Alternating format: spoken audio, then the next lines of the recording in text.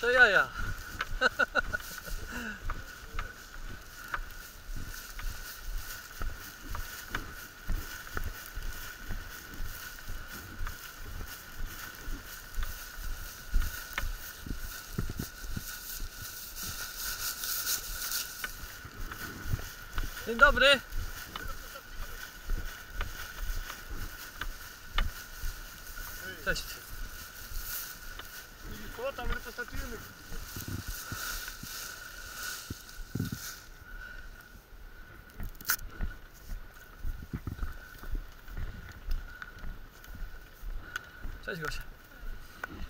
Wczoraj, że się tak poplątało linki, że